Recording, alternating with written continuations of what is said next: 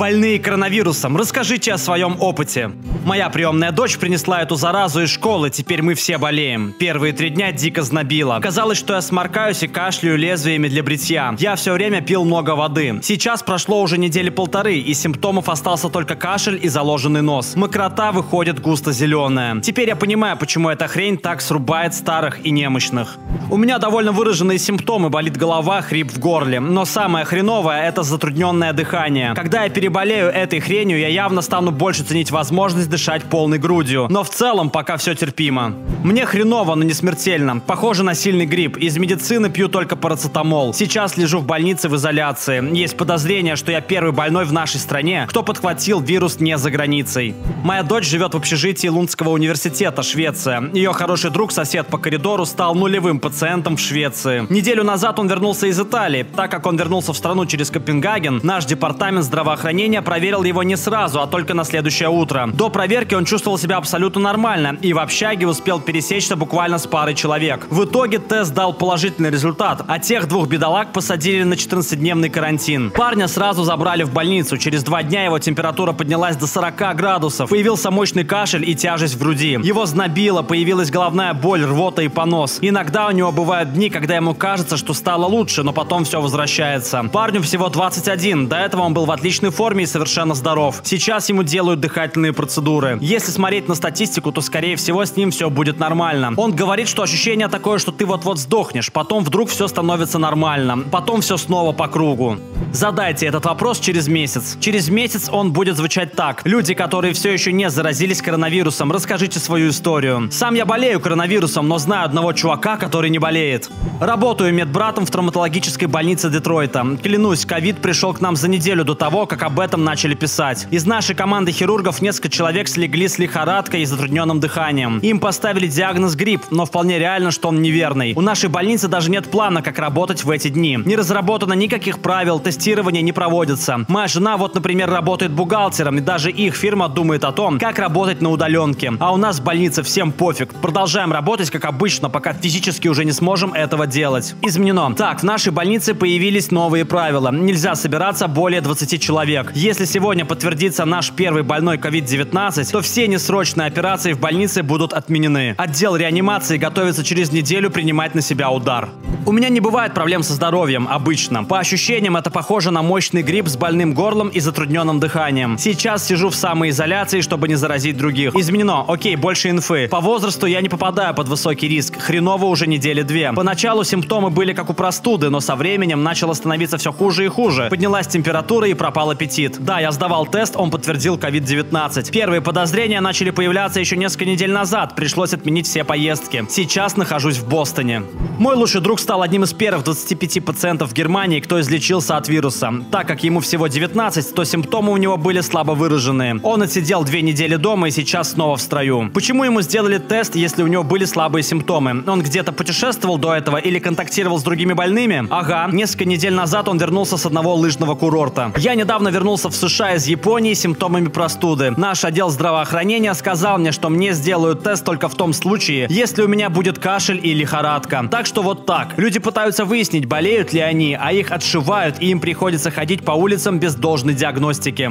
Когда я умру, напишите на моей могиле. Я заказал Хайникен, но мне принесли корону. Рип. Только что умерла знакомая моей мамы. Ей было за 50, и у нее были еще какие-то проблемы с сердцем. Скорее всего, она заразилась в поездке 20 числа. Помните, что инкубационный период длится до двух недель, то есть болезнь может проявиться гораздо раньше. По-моему, Том Хэнкс раньше сидел на Reddit. Не могу поверить, что мы заразили его короной. Мне 28, так что я не нахожусь в зоне риска, но могу все равно рассказать о своих симптомах. Я заболела примерно 15 дней назад, но из них провела дома только последние 5, потому что до этого я не могла сдать тест. У нас в Южной Испании их очень мало. Началось все как простуда с соплями, из-за чего я как раз и не приняла эту проблему всерьез, но потом мне стало хуже. К четвертому дню я начала кашлять, у меня заболело горло, появился хрип, пропал аппетит, воспалились лимфоузлы и ослабли мышцы. Это для меня было в новинку. В последние дни меня больше всего беспокоит болезненный и сухой кашель. У родителей те же симптомы. Сегодня скачал последнюю версию антивируса McAfee. Надеюсь, что теперь мне ничего не грозит. Два дня назад в Вашингтоне у моего дяди диагностировали коронавирус, ему около 70. Его поместили в карантин, но из-за того, что медсестры не знали всех правил, они позволили моей тете навестить его. Теперь она сидит дома в самоизоляции. По последним новостям, он в стабильном состоянии, но у него пневмония. Работаю на скорой в Теннесси. Два дня назад мы возили из больницы в больницу пациента, у которого подтвердился COVID-19. Спросите у меня, как я себя чувствую через две недели. Тут челы пишут, что на Reddit сидят одни интроверты-домоседы, которые по определению не могут заразиться. Но давайте посмотрим правде в лицо. Единственные, кто выживет, это северные корейцы. У подруги положительный тест. Она говорит, что болезнь похожа на слабый грипп, сильную простуду. Ее согласились протестировать только тогда, когда стало точно известно, что у человека, с которым она контактировала, тоже коронавирус. В промежутке между заражением и получением результатов теста она успела отработать несколько смен в банке, ходила в спортзал и в кино. К счастью, в последнее время я не контактировала ни с ней, ни с остальными друзьями. Я один из выздоровевших. Два дня была повышенная температура, я плохо себя чувствовал, много спал. Все время залипал в Netflix. На третий день начал идти на поправку, мне 40.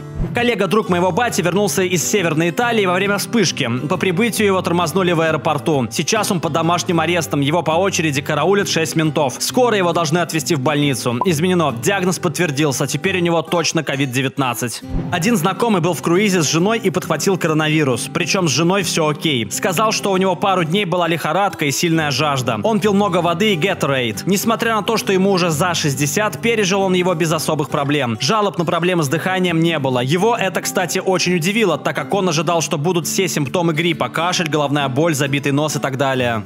Мой дядя подхватил его. Ребята, эта штука куда серьезнее, чем вы думаете. Дяде 48 лет. Еще недавно он был абсолютно здоров, а сейчас даже сам дышать не может. Уже четвертый день его жизнь зависит от аппарата искусственной вентиляции легких. Вряд ли он, конечно, умрет, он должен восстановиться. Но если бы не было свободных аппаратов ИВЛ, то ситуация была бы совсем иная. Больше всего меня пугает вопрос, а что будет, когда эта хрень распространится еще сильнее? Я сам работаю в больнице и знаю, что возможности всех подключить к ИВЛ просто нет. То есть ты хочешь сказать, что у него нет хронических болячек, но при этом ему нужна вентиляция? В новостях говорят, что так плохо становится только больным и старым. Никаких серьезных проблем и никаких вредных привычек. Курить он бросил в 20 с чем-то. Кстати, в нашей больнице за закрытыми дверьми провели брифинг для врачей и медсестер. Только я там не был, потому что я всего лишь занимаюсь поставками. Всем было дано указание не рассказывать никому, что там обсуждалось. И я знаю, что несколько медсестер после этого уволились, видимо из-за соображений страха и безопасности. А весь прикол в том, что наш штат эта штука еще особо даже не коснулась. Люди слишком легкомысленно относятся к проблеме. Мне одна медсестричка сказала, что в этот раз все будет серьезно. Заболел мой учитель. Наша школа каждый год устраивает экскурсию в Европу. Там он ковид и подхватил. В ближайшие несколько дней уроков у нас не будет. Школу дезинфицируют. Все, кто были на экскурсии, будут сидеть в карантине. В какой они были стране? В Италии.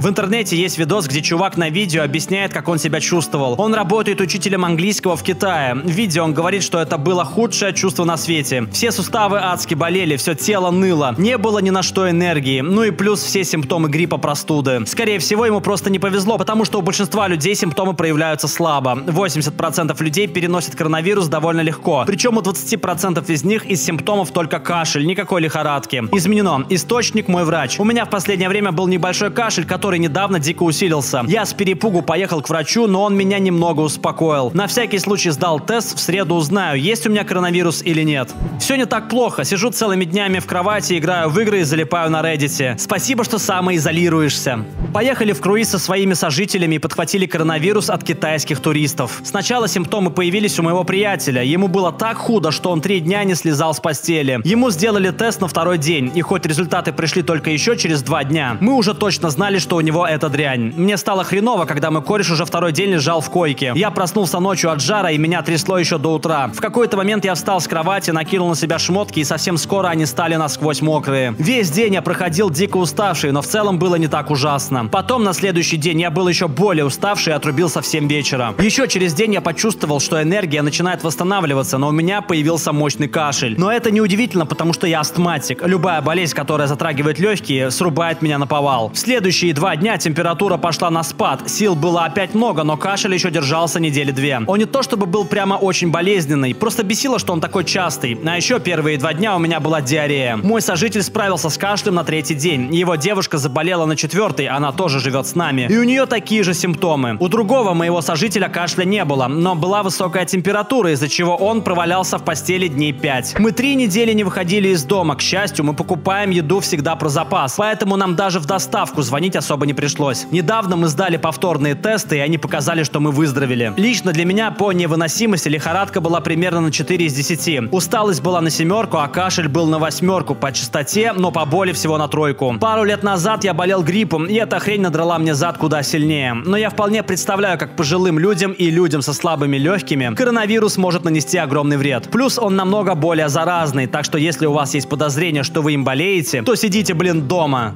Большое спасибо за просмотр. В комментариях под видео «Больные коронавирусом» расскажите о своем опыте. И не забудьте посмотреть наши другие видосы. Пока!